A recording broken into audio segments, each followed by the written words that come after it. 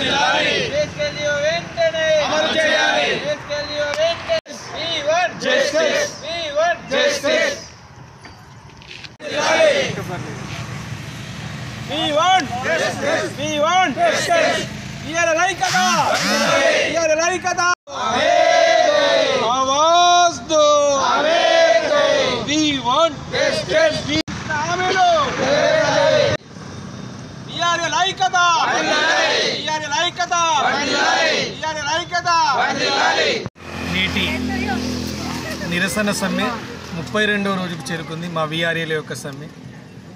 ముప్పై రెండవ రోజుకు చేరుకున్నా కానీ తెలంగాణ ప్రభుత్వానికి మా తెలంగాణ ప్రియతమ ముఖ్యమంత్రి గారికి చీమగుట్టినైనా అనిపించట్లేదు.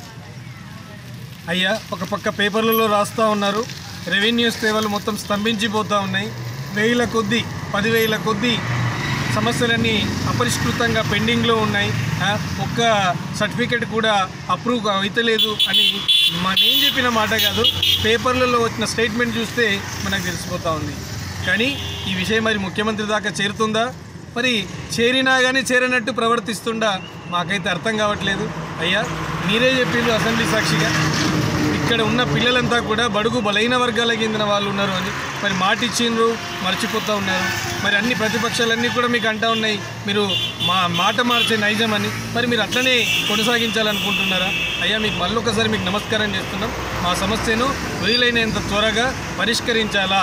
అసెంబ్లీలో మీరు చెప్పిన ఏవైతే హామీలు ఉన్నాయో వాటినన్నింటినీ కూడా జీవోల రూపంలో విడుదల చేసి తక్షణం మా విఆర్ఏల యొక్క నిరసన సమ్మెను ముగింపు పలకాలని మా రాష్ట్రంలో ఉన్న ఇరవై మూడు వేల మంది విఆర్ఏల తరపున మీకు పత్రికాముఖంగా కోరుతా ఉన్నాం.